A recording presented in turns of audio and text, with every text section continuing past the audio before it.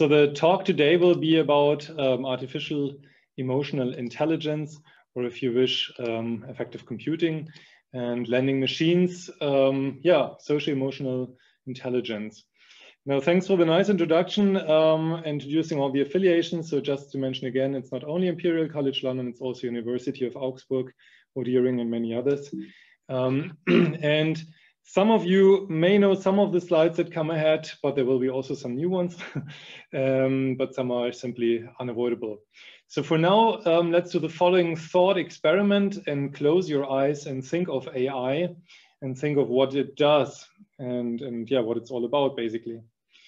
Now, if I would ask some of you to, to tell me what it is, it would depend on the audience. But if you're not in affective computing, probably um, you would think about some usually AI related things such as reasoning and problem solving, learning, motion manipulation, maybe NLP, and uh, knowledge representation, planning, perception, creativity in the more recent times.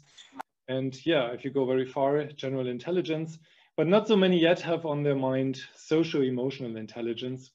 And that is basically what this talk um, is aimed at. Um, and the title has it, there will be artificial emotional intelligence. So it will show you where we already are. Um, at the end, I want to show a little bit what needs to be done to really have it, but I'm very convinced that we will have it broadly all over very soon. So why emotions at all? Um, this is a picture I took um, in Canada. And your first emotion might be how cute, a moose. but in fact, I took it pretty much from this distance um, in the wilderness. I was completely shocked uh, and had fear mostly standing in front of a wild animal of much bigger size than myself. So first of all, it's simply a, a survival instinct. It also helps us to make decisions. In this case, maybe uh, fight or flight, clearly uh, being flight. um, but um, there's more to it, um, and that's about communication. Very important aspect between humans, of course, communicate um, via yeah, facial expressions, via tone of the voice. And how would a machine be feeling natural and, and smart after all, or intelligent after all, if it couldn't pick up those signs in communication? Um, it's also there to motivate us. So the question here could be, do we need it to motivate computers in the future, to have them curious, to learn more, or to, to make some effort? Um, and yeah, to inform yourself about your state. Interesting thought. Do we need this for AI to inform itself about its yeah, whereabouts? Um, the question is then, how do we integrate this? And we wrote a lengthier article on the age of artificial emotional intelligence, thinking about ways to do that. Um, basically, um, affective computing can maybe broadly be boiled down into three major things, emotion recognition, emotion generation, and somehow in the middle, um, maybe what do you do with those? So with the ability to recognize emotions, with the ability to generate emotions. And here in the context of AI, um, we labeled it emotion augmentation. So the many things AI does could be somehow augmented um, by emotional intelligence skills. Um, so you would have some context maybe, and you would recognize and generate emotion that fits um, this setting, um, and then augment mm, AI with those skills. It could be for communication, but yeah, if you generate emotion, it could even be for learning itself. We'll talk about that towards the end of this talk to maybe lead to better mm, yeah, learning and machine learning. Um, so is AI already emotional? This is a um, series of movies that I love to, to cite in this context, simply because I was uh, inspired myself by Knight Rider, a talking car which recognized your emotions, but it was clearly empathetic and it also had emotions. Um, maybe Short Circuit was one of the next ones to me, um, where you had Johnny Five, a robot, quite empathetic, and having emotional skills. Of course, her um, Ex Machina was inspired by my colleague Murray Shanahan at Imperial. Um, so it's a must to have here. And these machines um, in the movies are quite uh, emotionally skilled, in fact, to the fact that they, in her or Ex Machina, for example, spoiler alert, can bring you to the point to trust them fully and even fall in love with them, but then exploit you for their own motives, for example. Um, this is an example of where we are in terms of emotion recognition, a video from uh, the web. And you will see arousal and valence um, shown uh, as emotional dimensions and a dot moving in those dimensions um, solely from the audio. Um, so it will not discriminate between the two speakers. So it will jump forth and back different emotional states as you will be seeing because two speakers are present in the video.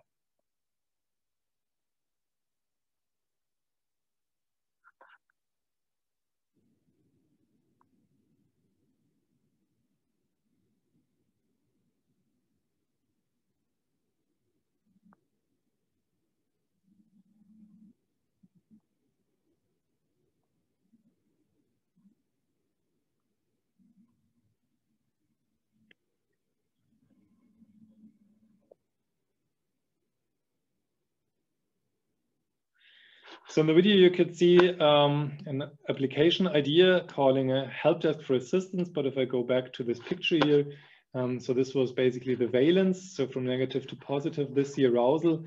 And if you had observed the dot, you can see that it moved um, between neutral when the computer was talking or this um, agent, the virtual agent was talking, or rather in the positive, calm, serene area. And the user was increasingly uh, moving from down here, calm, serene to, yeah, angry, annoyed, which is why it got help in the end. Maybe another use case inspired from the movie Her um, is to use it in creativity. You could, of course, think of generating content in emotional ways, for example, fitting a user's emotion.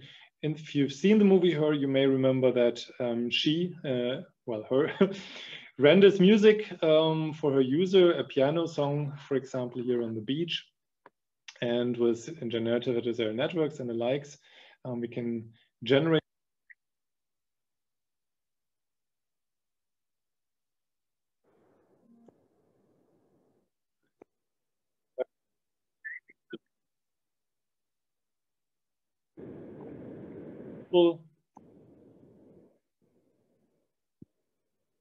It's much more useful to render it with some meaning. And what you hear in the next example is listening to the voice of someone and rendering the music uh, emotionally fitting the emotion of the speaker. So you can hear, for example, um, the arousal, the music will become more, let's say, dramatic as the speaker goes, and it will also become, yeah, changing, will be changing in the valence.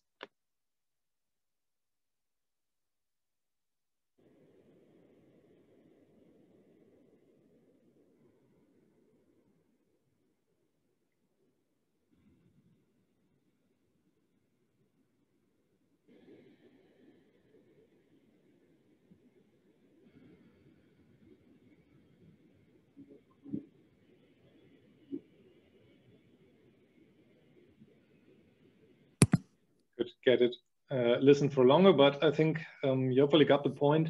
The music changes in its tonality and its instrumentation um, and the sound to become more dramatic following um, the speakers. So this is an example of real-time uh, recognition of emotion and generation of emotion fitting um, that. And you can easily imagine if you can do that, you could be empathetic by fitting um, also an agent's voice to the user's emotion. Um, and yeah, uh, appear more charismatic as artificial intelligence. Sorry, we cannot hear your audio.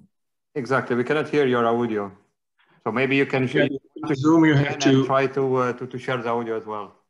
You have to share sound in Zoom manually, going on top, and there's a three dots, and then share sound. Okay, I was hoping you could hear it via my speakers and my microphone, so you didn't hear it at all. No, we couldn't hear anything. That's weird. Okay. Um, Unfortunately, I don't see any sound sharing option. um, but maybe you just imagine, um, oh, that's really too bad though. Hmm. Actually, you have to stop sharing the screen and then you have to click the box when you share the screen to say I share the screen. Okay. Um, when I click it, you share screen and on the bottom of your screen you see share sound and you have to click the the box. You have to tick the box.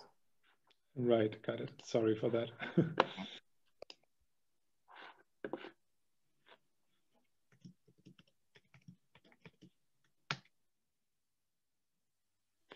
Okay let's try this again. and I hope you can hear something. Finally. No, it's fine. Ich gehe nach Hause und bin ängstlich. Ah, Glas! 100.000 Halme starren mich an. Ich weiß, was das bedeutet. Ich weiß es. Es ist eine Mahnwache für die 100.000 Halme, die ich schon Tod getreten habe. Und dann ein Baum steht da, äh, völlig unbeweglich, wie ein erstarrter Riesenkrak. Und wenn man ihm das dann abgekauft hat, dann, dann schlägt er zu und zieht einen in sein unterirdisches Reich. So I hope you could hear real-time analysis of voice emotion turn into music generation, this time for, for real. In the next example, we see um, uh, an application in artificial agents, um, here for children from the Aria Valuspa project, um, a European project with a lot of partners. And basically you have um, character in augmented reality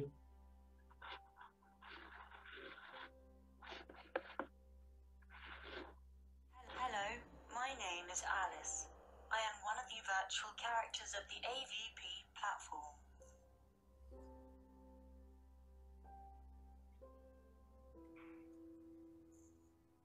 and another character added. This is my cat.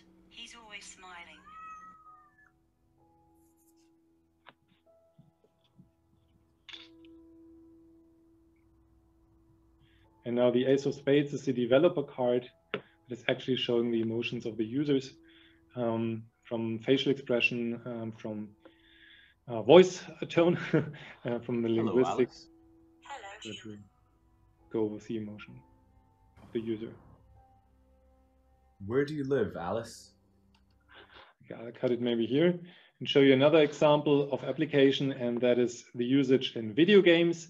Um, this is from our audEERING's engine um, to be integrated into video games uh, as a plug and play, um, yeah, speech analysis um, option, and you will see the character react differently as the user speaks in different emotions. Hey there, how do you feel today? Hey there, how do you feel today?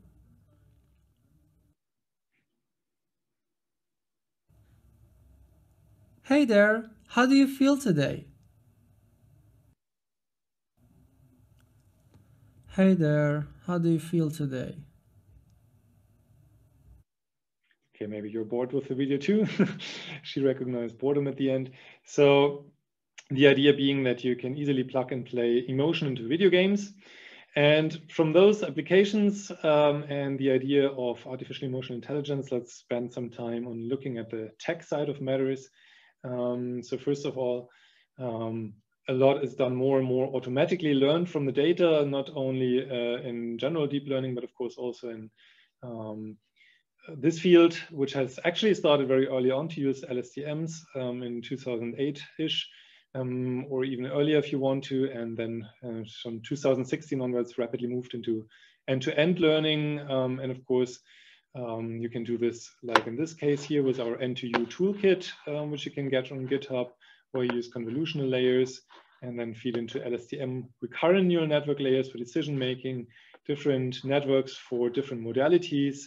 In this example here for um, speech, um, a rather shallow convolutional neural network and a visual network inspired by some templates like VGG, ResNet or alike. Um, and when we first did this, it actually um, got the record on the Audiovisual Emotion Challenge task we were running at the time on the RECOLA database. Um, so this works very well. And since we have been, um, in general, seeing in these challenges a, a very, very steep uprise in more and more self-learned representations, reusage of pre-trained uh, representations. So um, the question being is, probably not so much do you still need features, but how much expertise do you now know on, do you now need on deep learning to, to actually shape these networks? And if you look at it closely, it actually is a lot of uh, hyperparameters to make decisions upon. So how do you shape these networks? Um, what uh, number of uh, filters do you use? Which sizes? Um, what whatever is dry, zero threading, yes, no, and what optimizers, and so on and so forth. So maybe it has somehow moved, to be honest, uh, not to real end-to-end learning in the sense of self-learning everything from the data, but rather than knowing features from audio or video, you now need to know a little bit um, how to shape these networks depending on your modality. So the dream is there to have that even more automated. And in 2018, we looked into AutoML for affective computing, so automatic machine learning, um, where the idea is that you self-shape these networks. Um, at that time, however, it was rather a gentle approach. Um, what we were changing in a reinforcement learning paradigm where a controller network shapes the actual affect recognizer um, was rather mild. It's a cell activation type, such as LSTM, GRU, TAN hyperbolicus, or alike. And the number of cells per layer, meaning that you could also erase a layer um, by um, reducing it to zero, and hence also were deciding on the depth of the network. But as said, if you think about it, you could do a lot more, um, look into uh, strides and filter sizes and filter numbers and so on. So this is really just the start of it. However, in the Interspeech ComParE 18 crying challenge, again, we organized this challenge. So this is not a competition entry. It's just to show what you can do. We were able to beat the end-to-end -end learning system designed by humans, um, by experts, by a large margin. So the AutoML end-to-end -end system had um, yeah, 6.6 um, percentage points absolute ahead of that. And it was better than um, uh, the other systems actually at that time. So it seems promising. Um, somehow this means that you're shifting human expertise towards um, yeah, computation time in times of discussion about uh, how uh, green is mm, deep learning that may be a factor, um, but it actually seems to work. And what really is to be done is um, allow it to shape other parameters too. Now, um, the task is challenging, and to illustrate this, I picked um, the interspeech emotion challenge. I'm particularly talking about emotion recognition from the voice in this example, maybe my favorite case. and before we started doing these kinds of challenges in 2009, there was a lot of papers claiming 90% recognition rate for seven emotions, um, sounded great. Um, so the idea of these challenges was to show, of course, what we can do, but also what we can't do. and what we couldn't do at that moment in time is non-cherry picked uh, in the wild emotions um, with yeah, a test set which you didn't know the labels about, you couldn't optimize really upon. And the shock was huge when we broke down for five emotions to 44% uh, for in the wild processing and 71% for two classes. We move to um, continuous representation of interest, and I'm only showing here from the 50-ish um, tasks we have been running at Interspeech, those related to emotion, and uh, picked it up again later with 12 classes um, at 46%. So you see it's maybe not so much better um, in terms of accuracy, but just the number of classes, so higher complexity and similar results. And more recently, we have been visiting um, atypical affect, uh, self-assessed affect, and elderly um, affect. Um, so in a way also atypical. And what you can see is that uh, on average across the two dimensions, arousal and valence for three class problems, we had 64-ish percent. Um, chance level would be for three class, of course, it's 33-ish percent. So we're way above that, but we're still way below 100% if you could ever reach that. Um, so meaning that um, there's still something um, to be improved. and um, just showing you some of the things we have been recently considering to do that, to see if we can improve, um, in particular on this first use case, emotion recognition.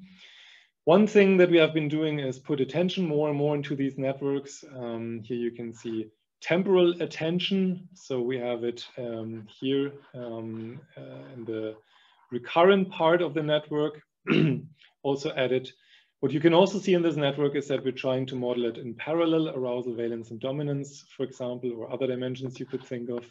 And for that, we learn not only in the representation part uh, where to put attention upon, um, but also from a time profile, different moments in time for arousal and valence when to pay attention to.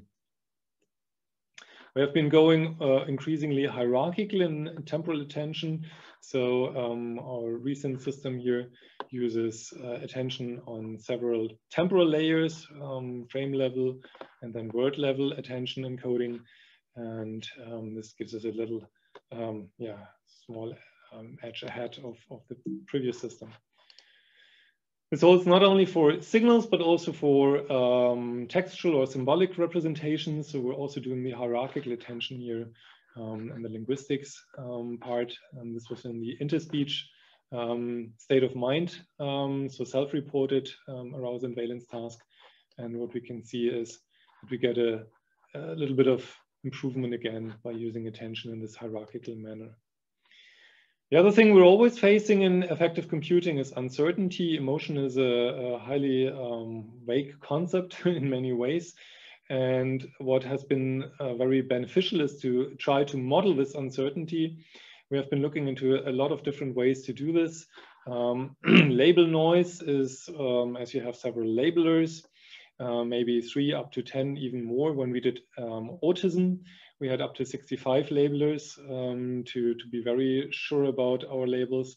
Um, then model noise prediction error, which we all try to model here in a sort of informativeness curve. Um, here, for example, shown over arousal, um, the informativeness, the uh, engine that is assessing that has been outputting. So we're basically uh, trying to predict the informativeness of a, a, learning instance or of a moment in time. For example, if you think of curricular learning where you try to show um, easy cases first and then go into the harder ones, or um, if you try to um, find most informative ones, sometimes even without knowing the label yet, um, for example, for active learning where you try to label only the most promising ones by humans. Um, now, what we could show is that for the difficult tasks, audio valence or video arousal, um, we could get a huge improvement by modeling this uncertainty. Um, this is concordance correlation coefficient on the RECOLA database, um, which has been used in the audiovisual emotion challenges repeatedly. And we got a huge improvement um, by almost 0.1 um, for audio valence. Also for video arousal, you can see there was a good improvement. So what can you basically do? Um, we have been looking into um, telling um, the network, for example, um, the perception uncertainty. Perception uncertainty is where we try to model the human disagreement. We can use this as an input feature, for example. Um, we can also use it as a target in learning. So in other words, we're not only training an emotion recognizer to predict the emotion, but we're also training it to uh, predict the inter-rater agreement level. This has not only been beneficial to give us some sort of confidence measure, um, which you have been seeing in the example of this um, listening to uh, a user in a call center example, the size of the dot was actually the um, perception uncertainty coming from the uh, label agreement prediction. But it can also be used to better train a model. So uh, we're co-learning the perception uncertainty, and that gives us a, a bit of um, a kick in the emotion recognition itself. The other thing that proved repeatedly uh, beneficial is to uh, uh use an autoencoder and train an autoencoder on the uh, emotion database. So you're training your actual system um, to, to recognize emotion, but on the side, we also train an autoencoder on that data. And with the new data we want to recognize, um, we run that through that autoencoder and its output, um, Euclidean distance to the input, tells us how different is the data we're having currently to deal with from our training data. Now this gave us another improvement because now your emotion recognition engine knows that it has very different data from what it has been trained upon or very similar data um, and it can respect that. We can feed this in um, with a full reconstructed feature vector, so not just the Euclidean distance. Um, we can use some principal components only, or we can just use um, the uh, Euclidean distance. So different ways to model this. Um, there's uh, a paper comparing this if you're interested, but basically the idea really is to, to give the emotion recognizer more at hand uh, in terms of uncertainty, knowing how different the data is, knowing um, guessing how difficult it is to recognize the emotion, whatever it is. Now, the other challenge in AI all over, of course, at this moment in time is um, to deal with explainability if you're talking about deep learning and um, without um, uh, having features or something like this and without having explainable, easily explainable models like decision trees or like there's the usual approach that this is just a black box and you can do some things. Um, what we have been doing is activating the activations in the convolutional part of the neural network, which is the representation learning part with traditional features. For speech, we found very high activations. for typical prosody like loudness and pitch. Um, so the network learns something that a human would do similarly uh, as an expert, um, tell it to, to go for prosody. We have also been doing this for other modalities and we had similar results. We have been doing this for physiology, for example, and we found very high correlations to the expert crafted features.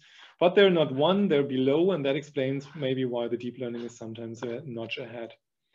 We've also been learn, looking at the learned time profiles from recurrent neural networks. So there's something that you can do. And of course, I've been showing these time profiles for attention, um, also for attention in the input domain. So a lot that you can find.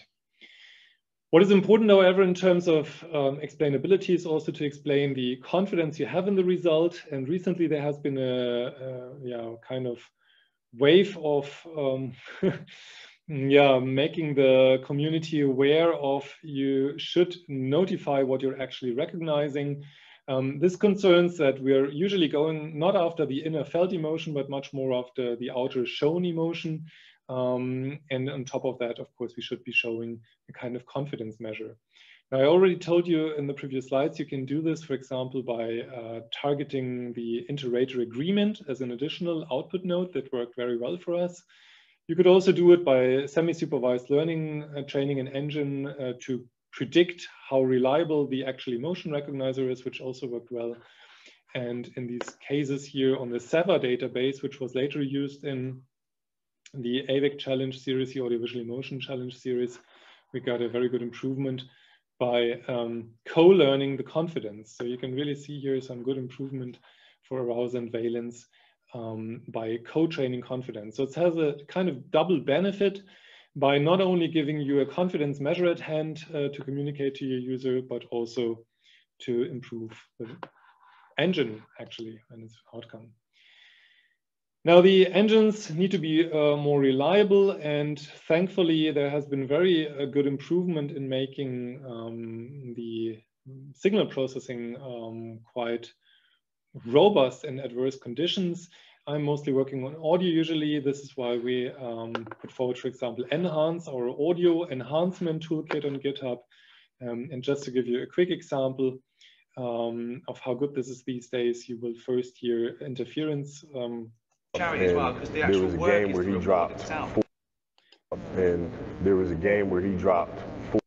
The separation of the sources so you can really focus on a target speaker and speaking of focusing on a target speaker you can tell these networks um, which is your target context so you use a sample of that speaker um, from previously and then it can focus on that speaker so two more examples just quickly two speakers over talk not a all that you can do now is in the audience's hands. That would be brilliant. Uh, we've uh, Over we've the line. worked really hard and we believe in it. And now after separation? Actually, all that you can do now is in the audience's hand. Uh, we've uh, we've worked really hard and we believe in it. Yeah, maybe we can skip over the last one. So you see this well already.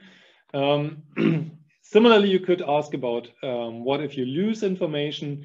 Um, again, the example from the audio domain, um, we have also been looking into this from physiology, for example. That's very similar to audio anyhow.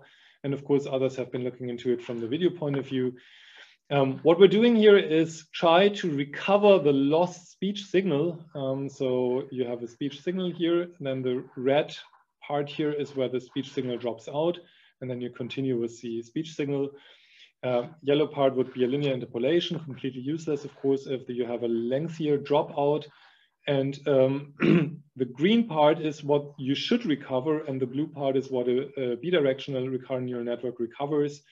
Um, that doesn't look too bad at times. So here the speech signal is despite its loss predicted quite well. Here you have a little bit of offset. At the end, it's predicted well again because it's a bidirectional network. In other words, where it's close to um, the beginning or the end of what has been lost, it's doing a good job in the middle, um, somewhat lost here.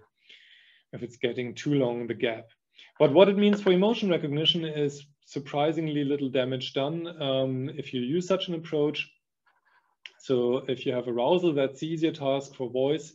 The original CCC on RECOLA again um, is pretty well at 0.77-ish, but at 85% drop, um, it breaks a little bit down to 0.56. That's not even too much if you think about it. So a little bit of audio remainder seems to suffice um, for arousal, but with the bidirectional network, it's much better. And at 50% drop, actually, it's still on par almost. Um, so you can lose half of it and with such an approach still recover to the point where you get it done for emotion. For valence, which is the more trickier part, you can see that for, for, for audio at least, you can see that uh, without um, any measurement, counter measurement, it breaks down pretty much completely from 0.43 to 0.14 at 50% drop. But with such a recovery of the signal, um, you're still doing very good at 50% drop. So in short, um, yeah, we can lose uh, quite a bit of the signal and we had similar observations for physiology. You can have a lot of noise and still do a decent job on that. What we need is data, and I'm not going to talk too much about this really, but the idea is um, to find efficient ways to get a lot of data in very uh, quickly. Um, this is our iHEARu-PLAY platform, which we have been using um, to find related data from a single video example um, on YouTube, then use active and semi-supervised learning to label very, very little data only by humans. Some 5 to 10% human effort needed to get the same uh, result for emotion recognition at the end of the day. And we had been showing at some point in time that you can get completely new tasks solved um, without having any data yourself, just giving an example um, from the net. Um, in labeling, and that is the major bottleneck really in getting enough data, you want to be as efficient as possible. So you want to ask as uh, little humans to label the data as needed, um, but you also want them to do as little work as needed. And this is why we're looking continuously into CTC, connectionist temporal classification, meaning that you just give a textual description, for example, without precise time alignment, um, happy, um, sad, whatever, or maybe some more fine-grained something, but you don't have to give the exact time stamps um, to, to fit the labels, um, which, for example, is known from speech recognition as forced alignment. So with CTC, you can do something like that. And we have been uh, just uh, recently um, publishing on a approach where we use uh, parallel 2D CNN with self-attention CTC to um, allow for um, doing that part I just realized that this is the wrong um, paper pointer here. It's actually appearing in neural uh, networks these days. Sorry for that. And what we're doing here is aligning um, your labels um, with the signal. It can be audio, it can be video, it can be whatever. So the idea again is to make the labeling as uh, effortless as possible um, and um, yeah, focus on as few humans as needed to do the labeling. So in fact, um, this has been working very well, um, the CTC um, inclusion here to popular databases in the paper, um, IEMOCAP and the FAU Aibo emotion corpus from the emotion challenge from the first one. And we had good results and improvements um, with such an approach. Now, thinking also about the generation of emotion, we haven't talked about that really up to this point. I'm sticking with um, uh, uh, speech as an example. Um, and you can use generative adversarial networks as one of the many paradigms you could think of to really generate um, speech um, or whatever that is emotional. Um, general generative adversarial networks have this generator, of course, and the discriminator that tries to see if something is a real world sample or something generated from the generator.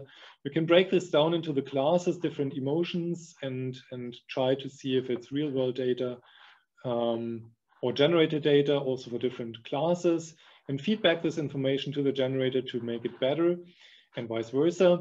But what you can also do is condition it and condition means that you can condition it to a certain emotion. Now we started uh, using this for augmentation um, in 2018. So we tried to augment data um, for training data, produce our new training data and that gave us quite a very good improvement actually on valence. Again, remember valence is the more difficult task from audio to tackle and our end-to-end -end learning architecture was giving us 0.26 concordance correlation coefficient, not too good, but augmenting it with new training data by such a, a conditional adversarial network approach almost doubled the concordance correlation coefficient.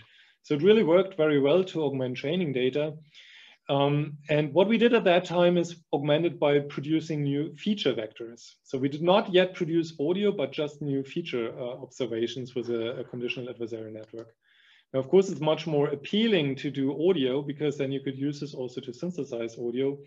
And um, for that, we then use the generator, which is doing the other way around from um, convolution for analysis. So this would usually be maybe the spectrogram, and then you go down to some representation to the final class. Here we go from um, the uh, latent random vector initialization to the spectra over time, and we're using recurrent neural networks to uh, produce a sequence, a smooth and, and consistent uh, sequence of spectra to generate audio. Now, in the example that you're listening, um, you're hearing just conditioning on the phonemes.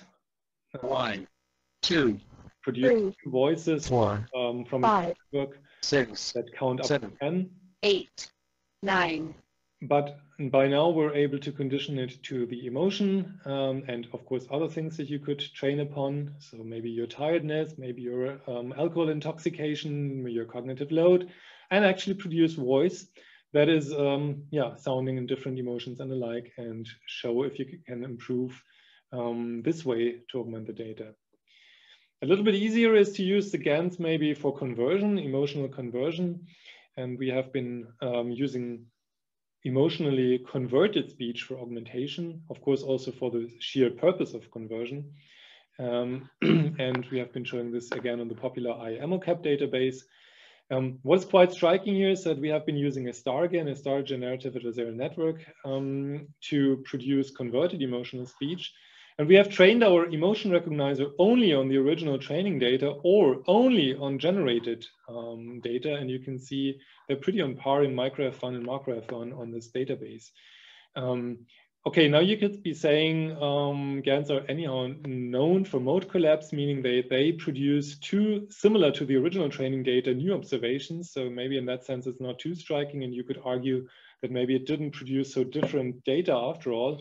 But um, if you look at the fusion of the two, you can see that it gives you uh, an improvement. So it did actually work um, to improve the um, data with converted data. Um, now, what is interesting, of course, is also to see if this works for humans, if you can uh, convert the speech such that humans think it's the new target emotion. And we did a perception study here where we looked at different conversions, for example, from angry to sad. The green bar here are if we didn't convert it and we asked humans if it is uh, sad, sort of, or what is the new target emotion, and that it is negative shows um, yeah, what it should show, namely that people realize that it's still angry. Um, what is positive here shows that they did um, perceive it as the new target emotion and we had a three class and a two class task.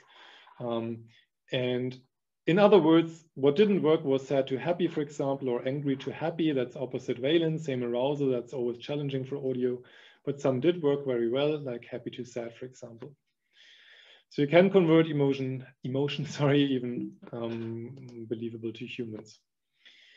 Now, what we um, have is some couple of um, problems at the moment being, or, or challenging questions, is to be more efficient for example, to run it on a smart watch um, on the Apple Store, you can download Vibes with an AI, like artificial intelligence Vibes, um, as an app to test run our emotion recognition. And what you need to do to run it on a smartwatch entirely on the watch, for example, um, you have to uh, compress the model, of course. So um, if you don't want it to go to a server, um, yeah, what can you do? You can do some quantization of the weights of the activations of all the um, numbers in the neural network um, to integers. You can prune the neural network to cut out those nodes which aren't really needed. You could also use some teacher, student-teacher architectures to teach a smaller network um, how to do the job.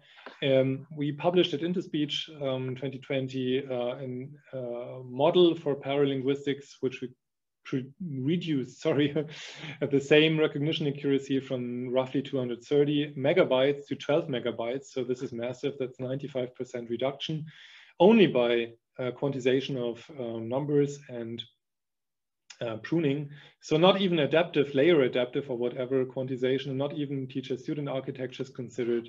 So this looks very promising. We can highly compress the models we're using. What we also want to do is uh, see the larger picture. I already uh, said that we're trying to target the different uh, emotion dimensions in parallel, so like valence, arousal, and engagement. But we more and more want to include the other aspects like recognizing automatically or at least including the knowledge upon, if you have it, upon the culture, um, the gender, uh, some individual aspects and the likes, which we have been showing to highly improve on your um, yeah, accuracy and performance. So the idea is more and more to go broad and see the whole picture, not only go for emotion, but go for your cognitive load, go for your physical load, go for your tiredness and whatnots, because you might just have had too little sleep and you're actually in a good mood. um, so we really continuously strive to see the larger picture. See, the larger picture is also including um, learning uh, from human to human conversation, for example, to be charismatic as an AI. Um, and maybe um, it's good enough to show some synchrony behavior and you don't need to actually explicitly recognize the emotion. So we have been looking at mm, yeah, training models to, to assess the synchrony between human speakers. So you could consider this as a kind of human to human computer mediated conversation analysis. Um, and what we have been doing is train an autoencoder for each speaker and uh, adapt this autoencoder over time. So we retrain it as the conversation goes. And we run um, speaker B, let's say, through speaker A's autoencoder and vice versa. And as they're not talking all the time, um, what you can see here is the error between the output of the um, autoencoder, meaning the reconstructed features, and the input um, when you input it through the other speaker's autoencoder. Now, if you have um, synchrony, this should decrease over time. So the error should become smaller simply because the two speakers are adapting to each other. So they become more closely, uh, more close to each other in terms of acoustics uh, or text or video. so you can use this, of course, for all sorts of feature information you're using. Train an autoencoder on a speaker, um, adapt it over time, and run the other speaker through that autoencoder and see if the error becomes smaller over time, meaning that they would synchronize over time. Now, we have been running this on the SEWA database for acoustics and linguistics and six different cultures.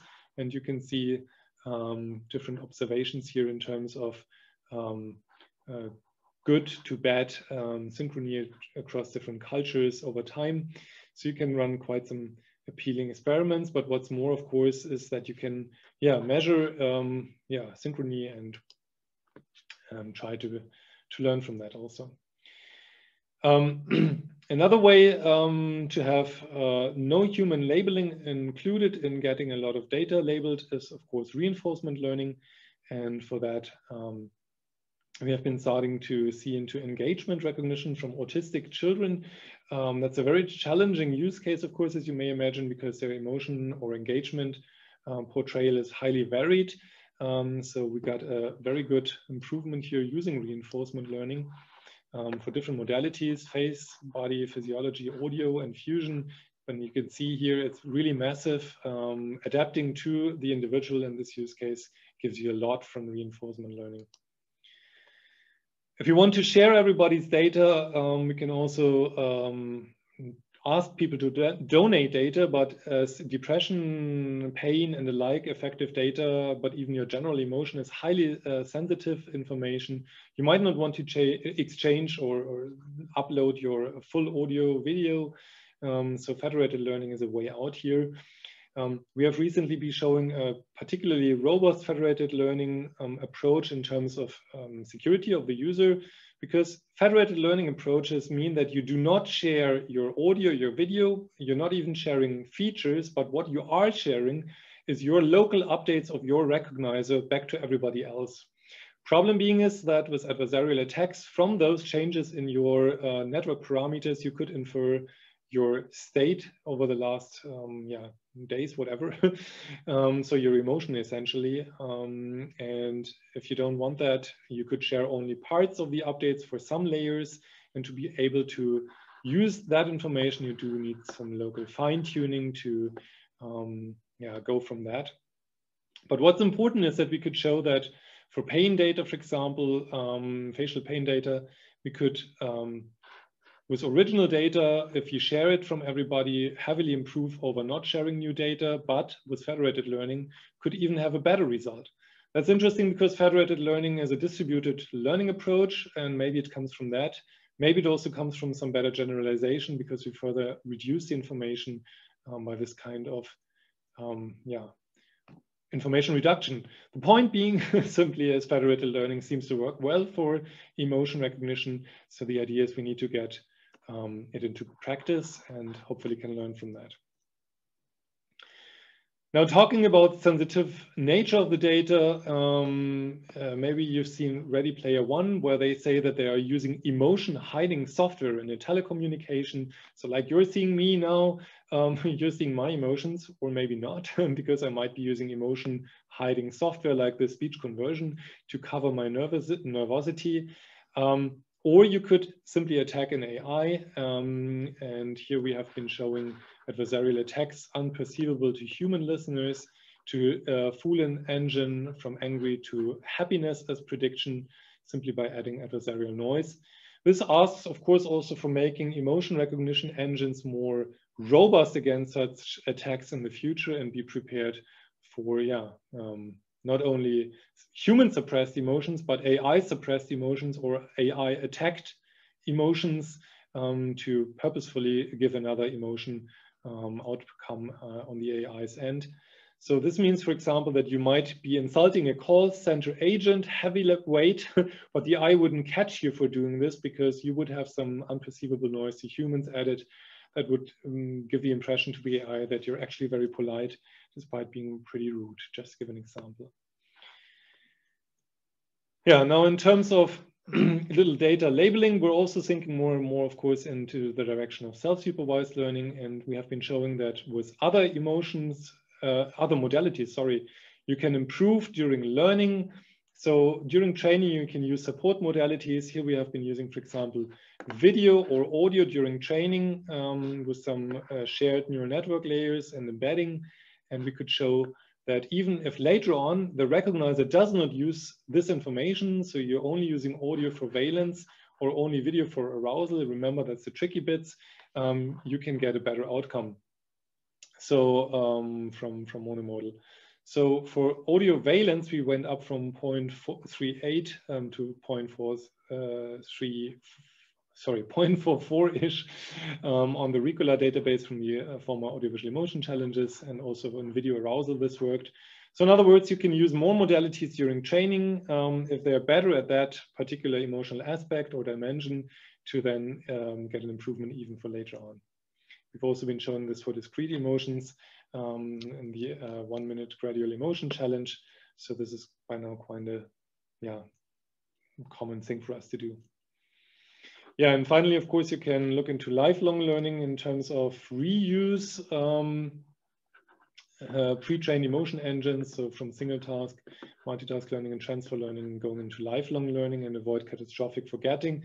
In fact, we're about to share EmoNet, a big, big neural network trained on 58-ish, I think, hours of emotional speech, um, using lifelong learning approaches in order to make sure we're not um, yeah, experiencing any catastrophic forgetting and having a large speech emotion recognizer.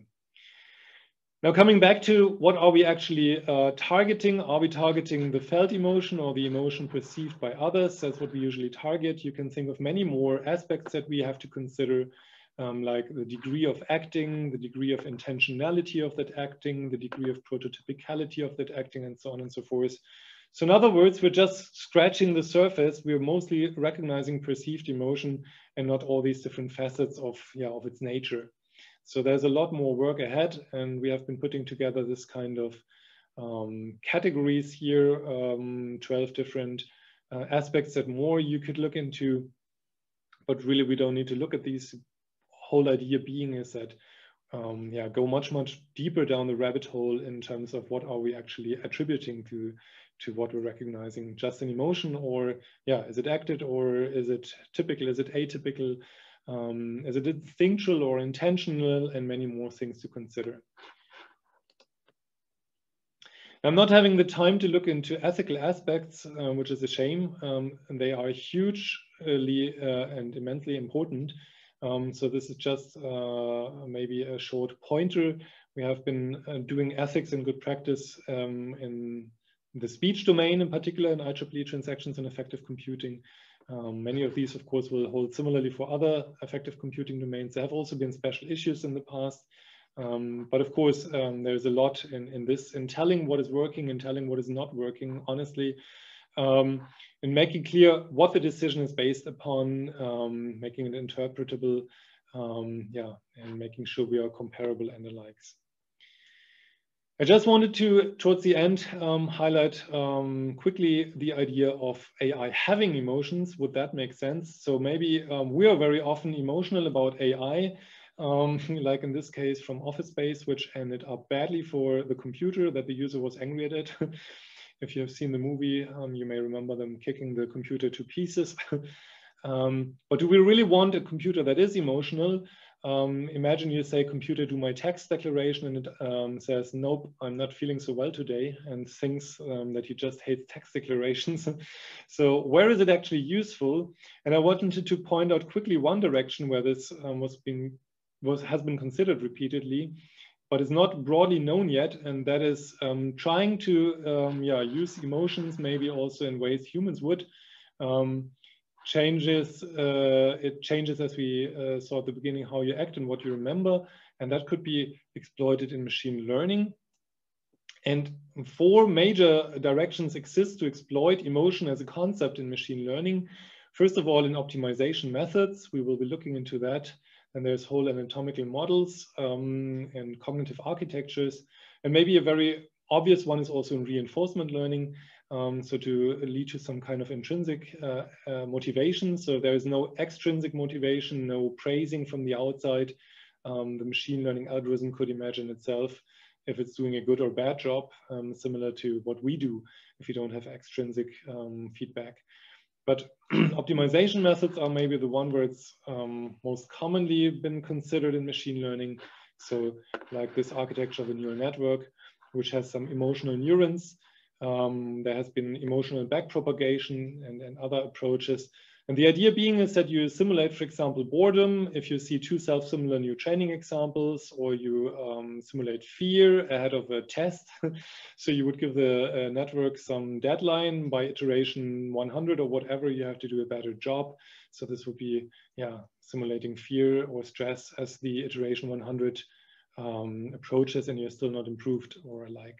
And there has been repeated evidence of this yeah, giving you improvements.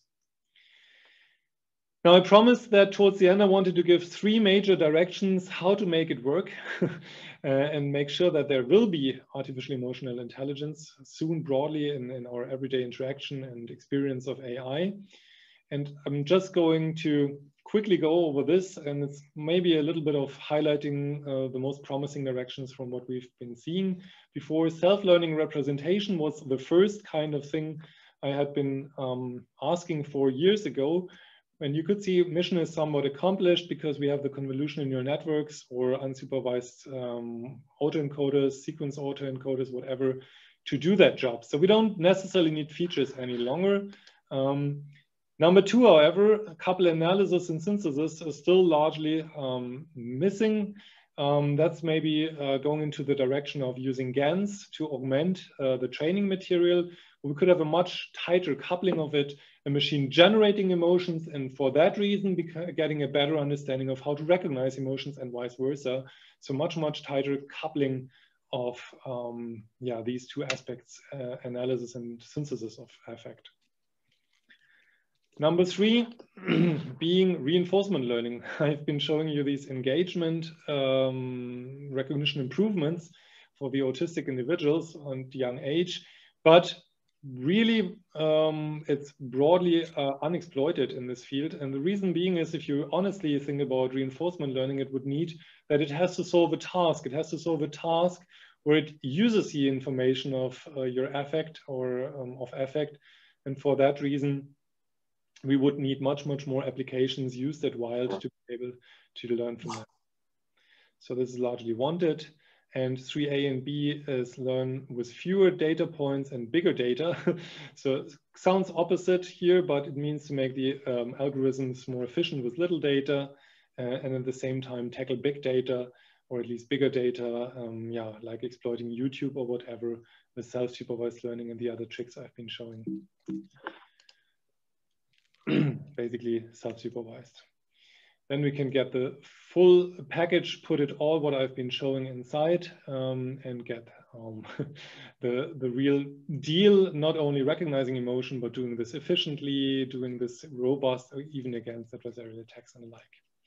So with that, um, a bit of reading the tea leaves, artificial emotional intelligence may soon know you better than your spouse, family, or psychologist. So we should be technically prepared and responsibly design it for um, us. and I would like to thank very much um, the uh, teams, showing here the university teams in particular, the current ones. Thanks to all um, yeah, members of GLAM and EIHW, and of course to AIDA for having me today and yeah, to all of you listening to this. Thanks a lot.